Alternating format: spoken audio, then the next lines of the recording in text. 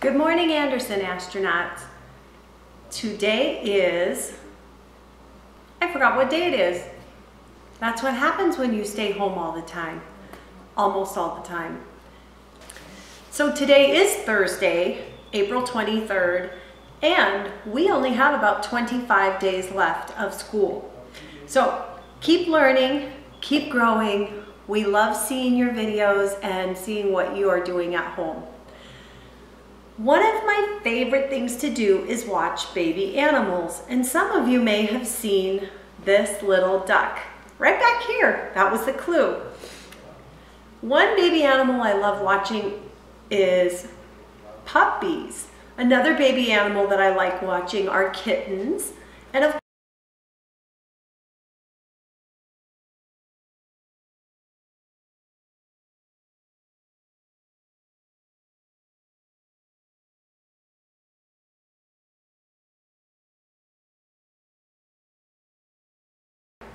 A cool thing that has happened since we've been staying home is one of my teacher friends lives on a farm and instead of being at school, she was able to be at home and watch her baby ducks hatch out of eggs.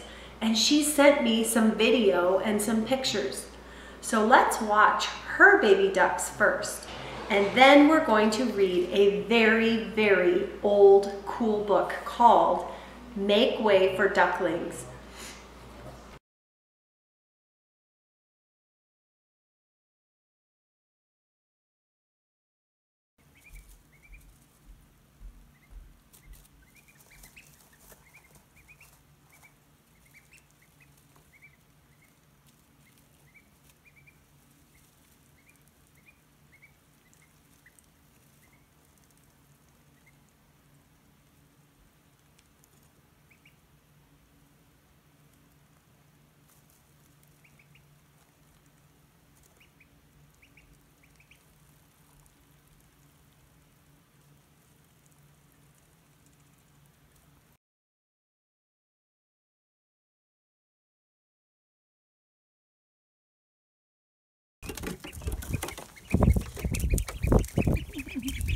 Okay, come on. Come on. Okay, I only have five of you. Where's the fourth one? Where's the sixth one, I mean? Where's number six? Is Wednesday not able to get out? Let's go back and get Wednesday in a minute. Okay, come on.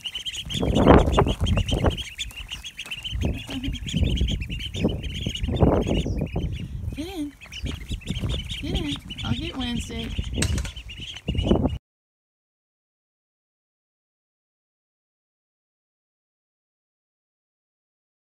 Hey, come on.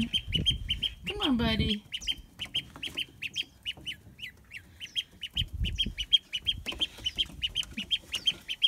You want to go down the ramp? No? You're going to go down like everybody else? Okay, go ahead.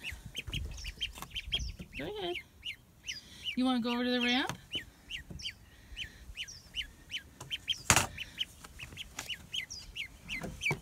There you go. There you go. Come down the ramp. Wednesday. Wednesday. Wednesday, come this way. Come this way, Wednesday. No, don't jump off of there. Wednesday. Wednesday, come here.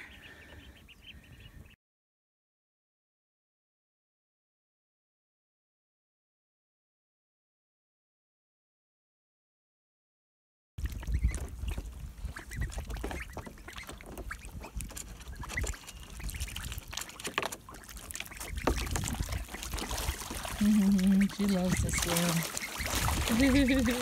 Look at her swim. Good job, Myrna.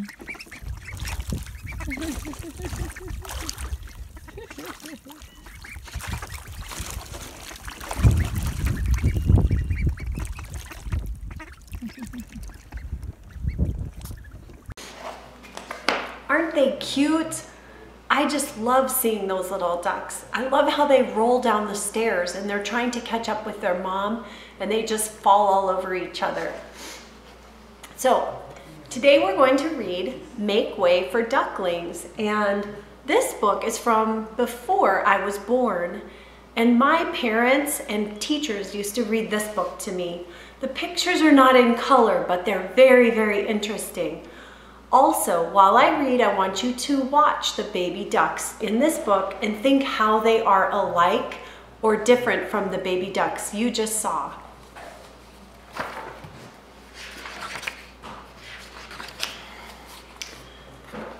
Make Way for Ducklings by Robert McCloskey. This book was written in 1941. This book was written during World War II. That's so cool. Make Way for Ducklings. Mr. and Mrs. Mallard were looking for a place to live. But every time Mr. Mallard saw what looked like a nice place, Mrs. Mallard said it was no good. There were sure to be foxes in the woods or turtles in the water, and, and she was not going to raise a family where there might be foxes or turtles because they eat eggs. So they flew on and on. When they got to Boston, they felt too tired to fly any further. There was a nice pond in the public garden with a little island on it, the very place to spend the night. The very place to spend the night, quacked Mrs. Mallard. So down they flapped. I wonder if they're going to go to that island. Next morning, they fished for their breakfast in the mud at the bottom of the pond, but they didn't find much. Just as they were getting ready to start on their way, a strange, enormous bird came by. It was pushing a boat full of people, and there was a man sitting on the back. Good morning, quacked Mr. Mallard, being polite. The big bird was too proud to answer. Mr. Mallard was trying to talk to this. Is that a real bird? But the people on the boat threw peanuts into the water, so the mallards followed them all around the pond and they got another breakfast, better than the first. I like this place, said Mrs. Mallard as they climbed out onto the bank and waddled along. Boys and girls, the bank is not a bank where you put money. The bank is the side of a pond or a lake or a river. So just know that there are two kinds of banks. That's a homonym, kind of like there are two kinds of bats. They climbed on the bank and waddled along. Why don't we build a nest and raise our duck, ducklings right in this pond? There are no foxes and no turtles, and the people feed us peanuts. What could be better? Good, said Mr. Mallard, delighted that Mrs. Mallard had finally found a place that suited her. But, look out, squawked Mrs. Mallard, all of a dither. You'll run, you'll get run over. And when she got her breath, she added, this is no place for babies. While with all those horrid things rushing about, we'll have to look elsewhere. They don't know what that is, but yep, that happens in parks. So they flew over Beacon Hill and around the State House, but there was no place there. They looked in Louisburg Square, but there was no water to swim in. Then they flew over the Charles River. This is better, quacked Mr. Mallard. That island looks like a nice quiet place and it's only a little way from the public garden. Yes, said Mrs. Mallard, remembering the peanuts. That looks just like the right place to hatch ducklings. So they chose a cozy spot among the bushes near the water and settled down to build their nest. And only just in time, for now they were beginning to molt. Friends, when ducks molt, it means they lose their feathers. They get ready to change for the season. All their old wing feathers started to drop out and they would not be able to fly again until the new feathers grew in. but of course they could swim. And one day they swam over to the park on the riverbank and there they met a policeman called Michael. Michael fed them peanuts and after that the mallards called on Michael every day. After Mrs. Mallard had laid eight eggs in the nest, she couldn't go visit Michael anymore because she had to sit on the eggs to keep them warm. She moved off of the nest only to get a drink of water or to have her lunch or to count her eggs and be sure they were all still there. One day the ducklings hatched. First came Jack and then Kack and then lack, and then mack, and then nack, and then ouack, and pack, and quack. Mr. and Mrs. Mallard were bursting with pride. It was a great responsibility taking care of so many ducklings, and it kept them very busy. Let's count the ducks. One, two, whoops, one, two, three, four, five, six, seven, eight. One day, Mr. Mallard decided that he'd take a trip to see what else, to see what the rest of the river was like further on. So off he set.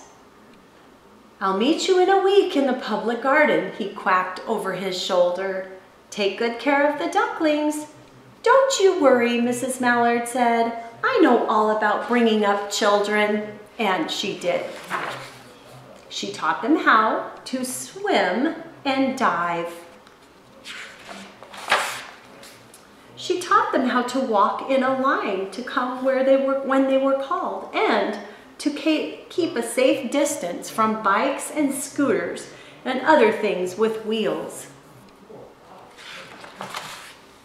When at last she felt perfectly satisfied with them, she said one morning, Come along, children, follow me. And before you could wink an eyelash, Jack, Kack, Lack, Mack, Nack, Ouack, Pack, and Quack fell into line, just as they had been taught. Mrs. Mallard led the way into the water, and they swam behind her to the opposite bank. There they waded ashore and waddled along until they came to a highway. Ooh, uh-oh, it's gonna get dangerous. Mrs. Mallard stepped out to cross the road. Honk, honk, went the horns on the speeding cars. Quack, went Mrs. Mallard as she tumbled back again. Quack, quack, quack, went Jack, kack, lack, mack, nack, ouack, pack, and quack, just as loud as their little quackers could quack. The cars kept speeding by and honking, and Mrs. Mallard and the ducks kept right on quack, quack, quacking.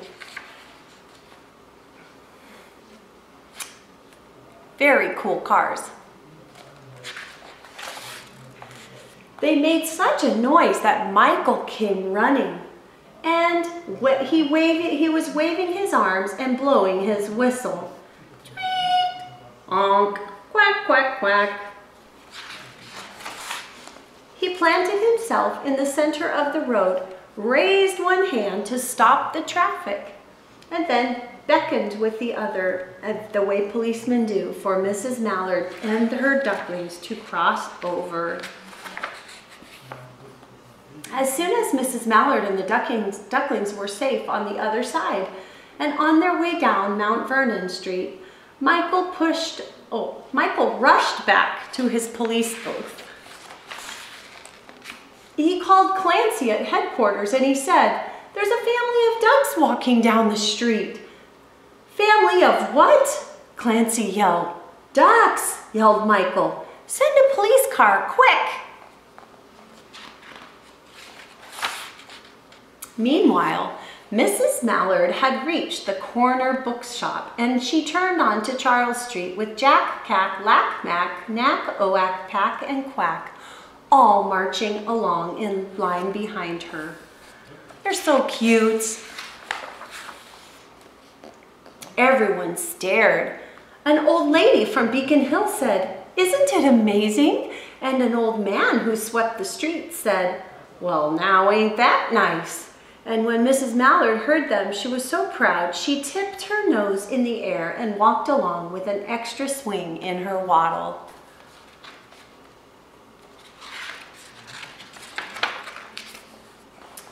When they went to this, when they came to the corner of Beacon Street, there was the police car with four policemen that Clancy had sent from headquarters the policemen held back on the traffic so Mrs. Mallard and the ducklings could march across the street. Look at that. And right into the public garden. Inside the gate, they all turned around to say thank you to the policeman. The policeman smiled and waved goodbye.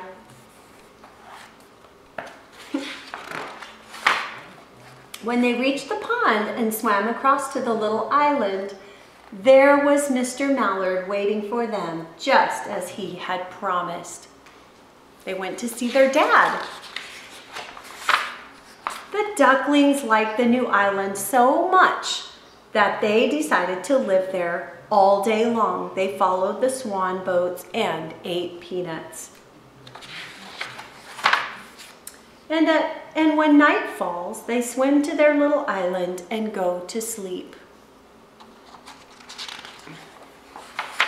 And that's the end. What a cool book. It's been a long time since I've read that book. So, if you can, write down some ways that those ducks acted like the baby ducks in my friend's farm. Tell us some rhyming words also from the story.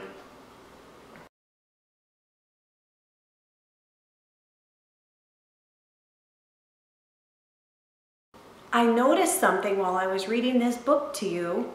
I noticed that the baby ducks' names were Jack, Kack, Lack, Mack, Nack, Ouack, whoop, and Pack and Quack. Watch what the author did. J, K, L, M, N, O, P, Q. They are in alphabetical order. Let's read them again. Ready? Read with me. Jack, kack, lack, mack, nack, ouack, pack, and quack. Last, boys and girls, go see if you can find ways that the baby ducks in the book were the same as my friend's baby ducks on her farm. Send me photos or send me your ideas or ask your parents to send me a video. I hope you're having fun and doing well and please give your parents a hug and tell them you love them. Tomorrow we're going to read a chapter out of Be Your Own Superhero. Some of you have told me you really want this book and to see what it's about. So until tomorrow, bye.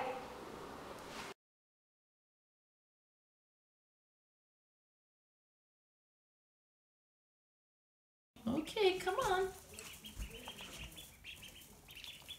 Come on out. Come on out. Come on. Come on. Come on, let's go. Let's go. Let's go. Come on. Come on.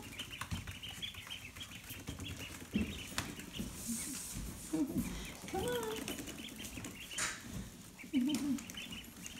Going for a walk.